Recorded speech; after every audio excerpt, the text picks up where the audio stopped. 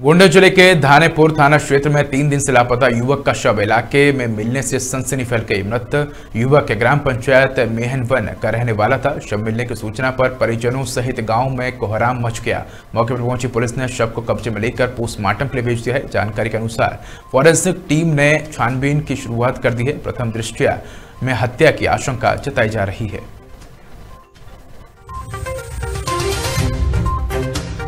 जनपद गोंडा थाना धानेपुर, ग्राम मेहनौन में आज एक युवक की डेड बॉडी की सूचना ग्राम प्रधान के द्वारा दिए जाने पर स्थानीय पुलिस के द्वारा मौके पर पहुँच करके फ़ील्ड यूनिट टाग स्क्वाड और फायर टीम के साथ मौके पर जा करके शव को में कब्जे में लेकर के उसके पोस्टमार्टम की कार्रवाई कराई जा रही है। इस संबंध में स्पष्ट करना है कि ये युवक जो सुनील कश्यप नाम का युवक छब्बीस, सत्ताईस साल की उम्र है। लुधियाना में रहता था सात नवंबर को अपने गाँव आया हुआ था।